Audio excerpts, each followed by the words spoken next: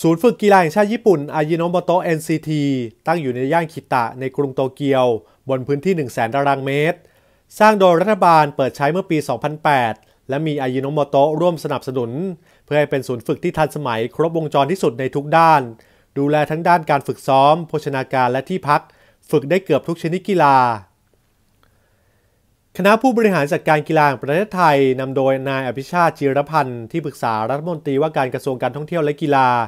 พร้อมด้วยดรก้องศักดิ์ยอดมณีผู้ว่าการการกีฬาแห่งประเทศไทย และคุณหญิงปัทมาลีสวัสตกูล กรรมการโอลิมปิกระหว่างประเทศ เดินทางมาศึกษาดูงานณสถานที่แห่งนี้ รวมถึงสถาบันวิทยาศาสตร์การกีฬาแห่งประเทศญี่ปุ่น ในบริเวณเดียวกัน เพื่อนำไปปรับใช้ในโครงการสร้างศูนย์ฝึกกีฬาแห่งชาติภายในการกีฬาแห่งประเทศไทย โดยเยี่ยมชมสนามฝึกซ้อมอาทิมวยสากลสมัครเล่น มวยปล้ำแฮนด์บอล ยูโด และแบดมินตัน ดรก้องศักดิ์กล่าวหลังการเยี่ยมชมว่า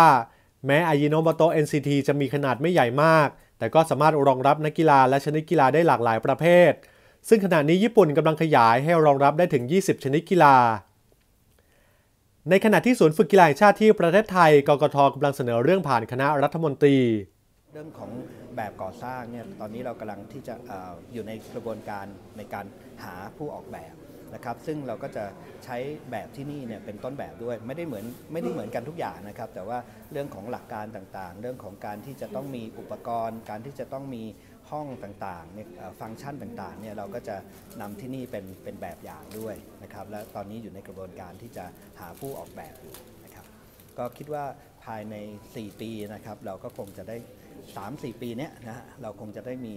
Training Center ที่สมบูรณ์แบบได้ครับ